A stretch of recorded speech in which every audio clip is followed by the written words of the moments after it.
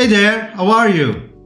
Did you know that you can run email campaigns in Dynamics 365 Sales even without a Customer Insights aka marketing license? My name is Jorge Daniel and in this video I'm going to show you what you can do with Campaign.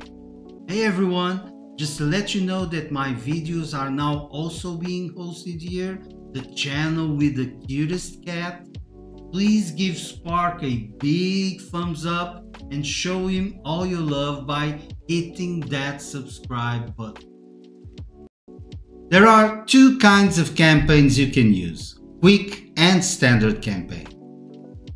Quick campaigns are suitable for sending a simple email shot without the need for additional resources or planning and the best place to launch is from a marketing list. I did a video on marketing lists recently and I'll leave a link to it and in that video I created two marketing lists with contacts from Seattle. So if you open a marketing list, you'll have the option to create new quick campaigns. Click the button and a wizard will start to guide you through the process. You have to name it, email Seattle, and you can choose from a few activity types. And while email may be the most common, the phone call option can be interesting as well especially if you consider the option to assign to the owners of the records. This way you are creating those phone call activities so that your team can follow through. Let's select email for this one, assign it to me and click next. It's time to compose the email and you have a few options here. You can either use a template you have previously prepared or design the email right here. And you can do it with a text editor, much like you would in Outlook, or you can use HTML.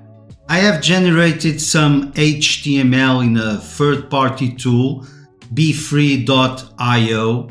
Check them out if you want, I have no affiliation with them, so I'll just paste the code here. You also have this preview feature that allows you to see how your email will look.